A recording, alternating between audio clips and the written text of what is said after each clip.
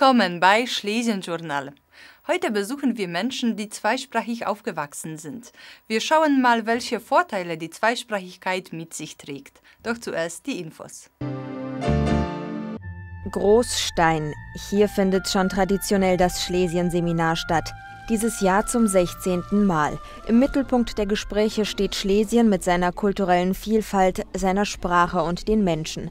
Das Schlesien-Seminar dauert vom 5. bis zum 9. Oktober und steht unter dem Motto Schlesische Identitäten, Erinnerungskultur, Reichtum oder Konfliktquelle. Wer mitdiskutieren möchte, ist herzlich eingeladen. Organisator ist das Haus der deutsch-polnischen Zusammenarbeit. Mehr Informationen finden Sie auf www.haus.pl. Seine Ausstellung über alte deutsche Rechnungen aus Schlesien, der Lausitz und dem Sudetenland wandert durch ganz Polen. Nun hat Bogdan Jasinski auch das Buch unter dem Titel Starke Marke schafft Gewinn geschrieben. Der Ethnologe besitzt die größte Sammlung alter Firmenpapiere und Rechnungen in ganz Polen. Sein Buch zu diesem Thema hat er zweisprachig veröffentlicht und das aus einem ganz bestimmten Grund. Gdybym był tylko skierował tą książkę do odbiorcy krajowego, to byłoby to, powiedziałbym, miałbym słaby efekt. Dlatego, że Niewiele osób zbiera takie rzeczy, te druki typu akcydensowego. Natomiast w Niemczech zbieraczy jest bardzo wielu i są to wybitni fachowcy, naprawdę. To nie jest. Ja, mój zbiór, który tam liczy gdzieś około 800 egzemplarzy w tej chwili, jest taki mikro Das Buch Starke Marke schafft Gewinn ist die erste populärwissenschaftliche Bearbeitung zum Thema Firmenpapiere und Firmenrechnungen aus Schlesien, der Lausitz und dem Sudetenland. Auf der Seite www.e-historie.pl finden Sie Interviews über die bewegte Geschichte Oberschlesiens. Das Projekt Archiv der erzählten Geschichte bietet jungen Menschen die Möglichkeit, diese Geschichte hautnah zu erleben. Od dawna interesuję się historią, a w tym projekcie mam możliwość poznania świadków historii, ich opowieści, których nie przeczytam w książkach. Erst mussten die Jugendlichen das journalistische Handwerk erlernen, bis sie sich auf den Weg machten zu ihren Großeltern und Nachbarn, um sie über den Zweiten Weltkrieg, die Nachkriegszeit, die Arbeitslager, den Kommunismus oder die Gründung der deutschen Minderheit zu interviewen. All das wird auf der Internetseite festgehalten. Organisator des Projektes ist das Haus der deutsch-polnischen Zusammenarbeit. Die deutsche Minderheit sucht den Superstar 2011. Wenn du gerne singst, dann melde dich an. Egal ob Jazz, Rock, Hip-Hop, RB oder Pop. Hauptsache in der deutschen Sprache. Der Wettbewerb richtet sich an alle, die sich für deutsche Unterhaltungsmusik interessieren. Egal ob Solisten oder Bands, die Teilnehmer müssen zwei Lieder vorbereiten und sich bis zum 28. Oktober anmelden. Das große Konzert wird am 20. November in Gogolin veranstaltet. Weitere Informationen unter www.derskn.vdg.pl. Etwa 70 Prozent der Weltbevölkerung spricht täglich mehr als eine Sprache. In unserer Region wird immer mehr Wert darauf gelegt, Kinder zweisprachig zu erziehen.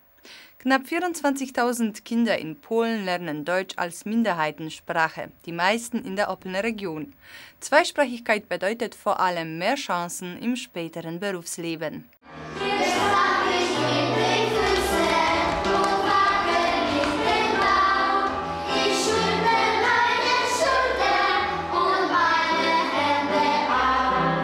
In der zweisprachigen Eichendorf-Schule in Solaria lernen in diesem Jahr 161 Kinder. Sie lernen Deutsch als Muttersprache. Eines der Kinder ist Dominik.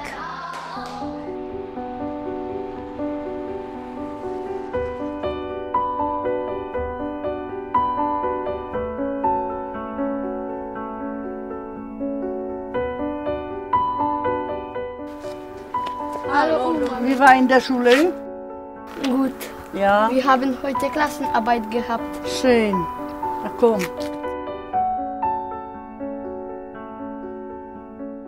Es gibt so etwas wie der Sprachrhythmus, also die, äh, äh, die gesamte mh, Phonetik, die Aussprache, nicht wahr? Das ist etwas, äh, was am Anfang entwickelt wird, nicht wahr? Äh, oder entwickelt werden muss. Und das ist äh, wichtig. Guckst du denn da? Das. Oh, das ist der zweisprachige Kindergarten. Ja. Da gehst du auch bald hin. Na schau mal, was machen die denn da? So viele Kinder? Hast du noch nicht gesehen, oder? Es ist sehr wichtig, mit dem zweisprachigen Unterricht früh anzufangen.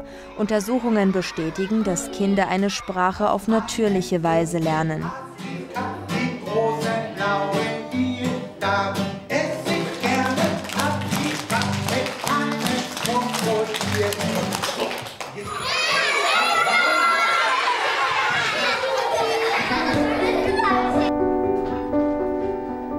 Ja wirklich schön, Sibylla, dass wir uns endlich treffen konnten. Wie lange haben wir uns jetzt nicht gesehen?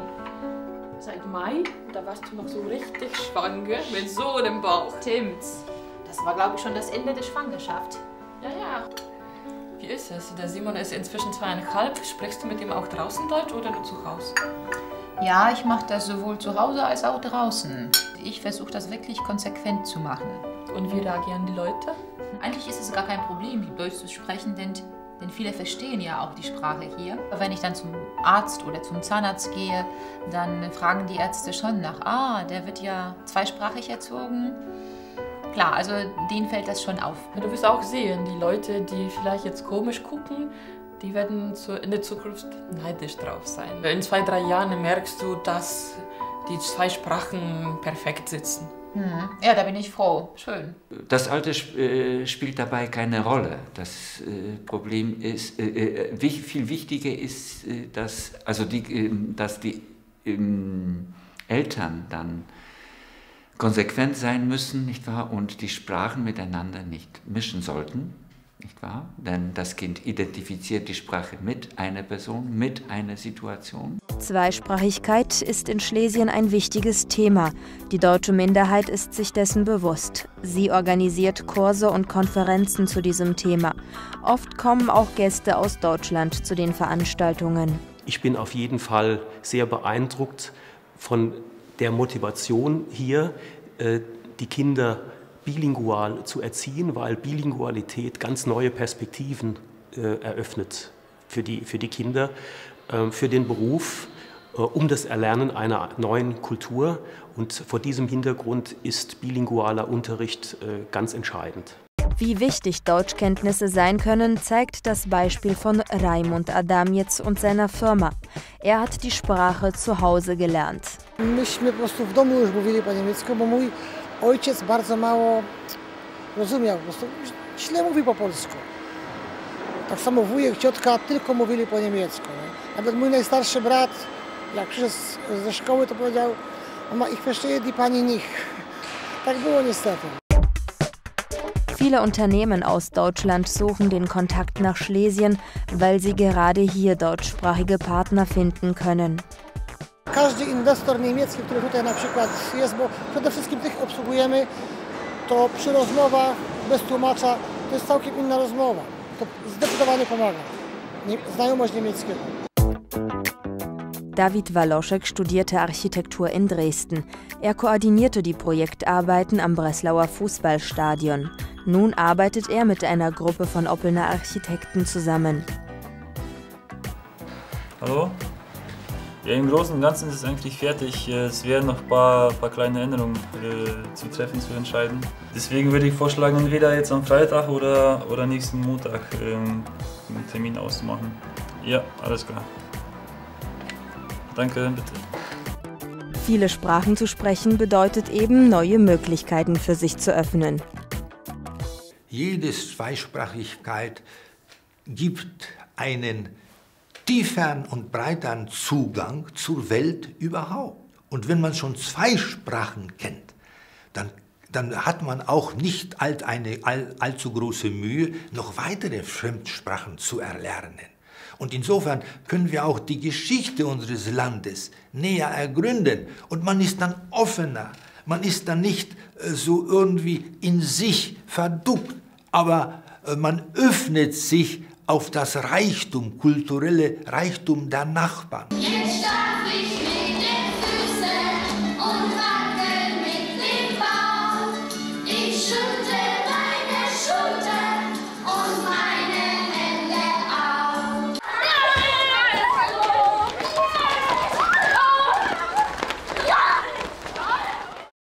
Die deutsche Minderheit hat im Haus der deutsch-polnischen Zusammenarbeit in Oppeln eine Beratungsstelle für den Bereich deutsch-polnische Zweisprachigkeit eingerichtet. Und damit sind wir am Ende der Sendung. Bis in einer Woche wieder. Tschüss und auf Wiedersehen.